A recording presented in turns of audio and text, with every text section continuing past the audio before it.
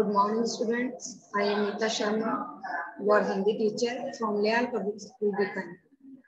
बेटा आज हम कक्षा पांचवी हिंदी पाठ्यमाला उन्मेष का पाठ छह सबसे श्रेष्ठ मनुष्य पढ़ रहे हैं चैप्टर में देखिए सबसे श्रेष्ठ मनुष्य नाम से ही पता चल रहा है कि भगवान ने इतने सारे जीव जंतु को धरती पर जन्म दिया है पर इन सब में श्रेष्ठ कौन है मनुष्य अन्य जीवों के प्रति हमें क्या रखना चाहिए? नैतिकता रखनी चाहिए, अपने कर्तव्य को समझना चाहिए, सबके साथ क्या रखना चाहिए, प्रेम का भाव रखना चाहिए।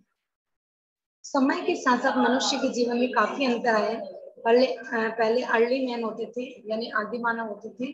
उन्होंने अपने जीवन को कैसे धीरे धीरे परिवर्तित किया, वो सब क्या है, हमारे जीवन में चेंज आए। तो सबसे श्रेष्ठ किसको बताया गया? मनुष्य को, क्योंकि वह अपने मस्तिष्क का विकास करके बड़ी से बड़ी चीज़ को प्राप्त कर सकता है। देखिए।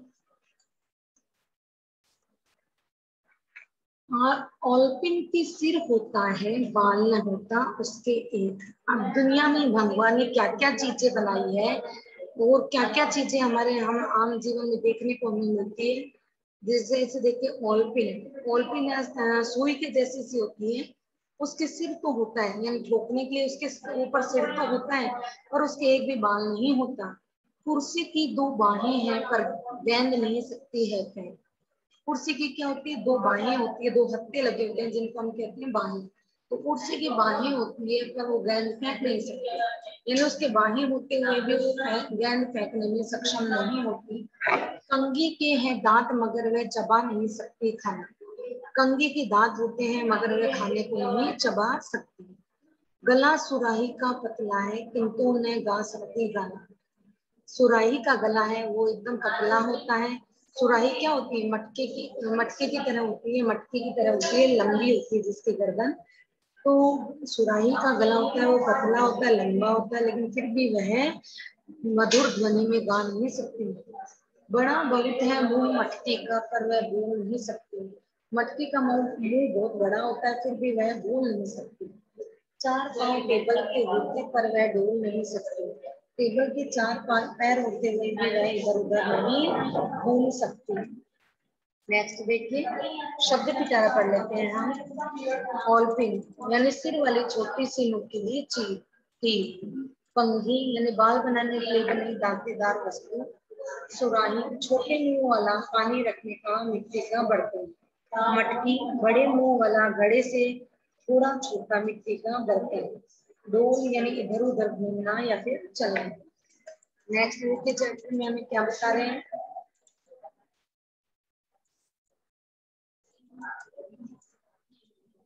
जूते की है जीभ, मगर में स्वाद नहीं जा सकता। जूते की क्या होती है जीभ यानी जूता होता है, उसकी जो आकृति होती है, वो आगे की तरफ़ नुकी भी होती है, तब ऐसा लगता है जैसे उसकी वो जीभ है। लेकिन वह किसी भी वस्तु का स्वाद नहीं सक सकती।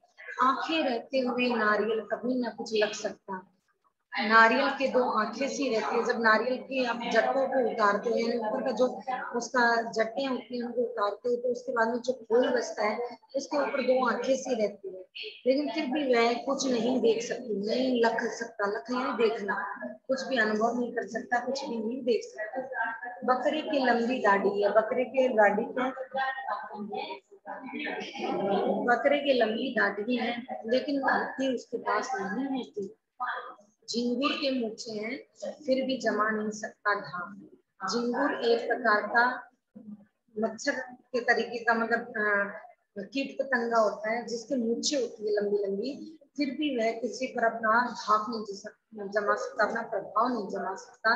है मनुष्य के पास सभी कुछ लेकिन मनुष्य के पास ये सारी चीज़ें हैं। उसके पास हाथ भी है, उसके पास आँखें भी है, उसके पास जीव भी है, जिससे कि वो स्वाद सकता है, उसके पास पैर भी है, जिससे वो चल सकता है, उसके पास मुच्छे भी है, उसके पास बुद्धि भी है, उसके पास सभी चीज़ें इसलिए दुनिया में सबसे बढ़कर है उसका ही नाम। इसलिए पूरी दुनिया में, पूरे संसार में मनुष्य जाति में किसका नाम सबसे बढ़कर है?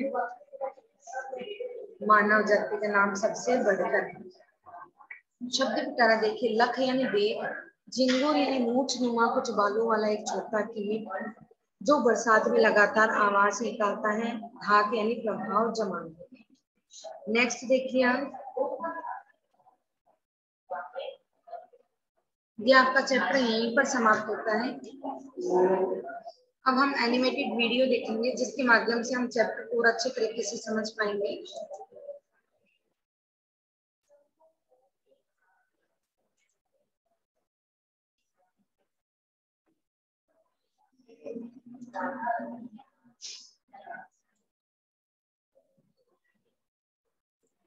सबसे श्रेष्ठ मनुष्य। आलपिन के सिर होता पर बाल न होता, उसके एक कुर्सी के दो बाहें हैं, पर गेंद नहीं सकती है फेंक। कंघी के हैं दांत, मगर वह चबा नहीं सकती खाना। गला सुराही का पतला है, किंतु नहीं सकती खाना। गला सुराही का पतला है, किंतु ना गा सकती गाना। बड़ा बहुत है मुँह मटकी का, पर वह बोल नहीं सकती। चार पाव टेबल के होते पर वह डोल नहीं सकती। जूते के हैं जीभ, मगर वह स्वाद नहीं चख सकता है। आखे रहते हुए नारियल कभी न कुछ आखे रहते हुए नारियल कभी न कुछ लख सकता है। बकरे के लंबी दाढ़ी है, लेकिन बुद्धि न उसके पास। ढेंगुर के मूछे हैं, फिर भी जमा नहीं सकता है धास। है मनुष्य के पास, सभी कुछ ले सकता है सबसे काम। इसीलिए दुनिया में सबसे बढ़कर है उसका ही नाम।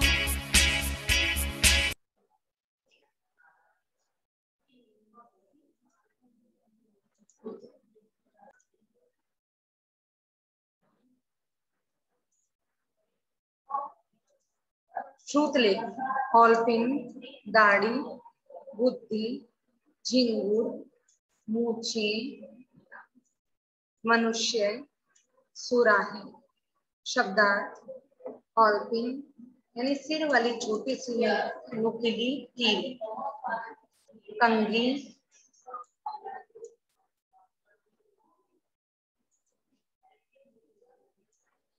कंघी, बाल बनाने के लिए बनी दांतीदार वस्तु, सुराही, छोटे मुँह वाली पानी रखने का मिट्टी का बर्तन, मटकी, बड़े मुँह वाला, घड़े से थोड़ा छोटा, मिट्टी का बर्तन, डोल यानी इधर उधर घूमना, चलना या फिर डोल यानी इधर उधर घूमना, चलना या फिर घूमना। नेक्स्ट देखिए, लक लक यानी देख लक लक यानी कि देख झिंगुर मूछ नमा कुछ बालों वाला एक छोटा कीट जो बरसात में लगातार आवाज़ें निकालता है। ढाक यानी प्रभाव डालना। कविता की पंक्तियाँ पूरी कीजिए। ऑल्पिन के सिर होता है, बाल न होता उसके एक। चार पाँव टेबल के होते, पर वह डोल नहीं सकती।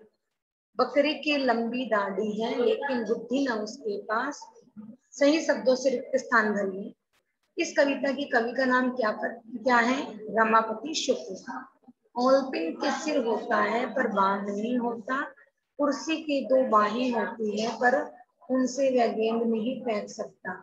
कंगी के दांत होते हैं पर वह उनसे खाना नहीं चबा सकती। मुँह बड़ा होने के बावजूद मटकी बोल नहीं सकती। मनुष्य का नाम दुनिया में सबसे बड़ा इसी कारण है कि उसके पास जो कुछ भी प्रकृति प्रदत्त उपहार है, वह उनसे काम ले सकता है।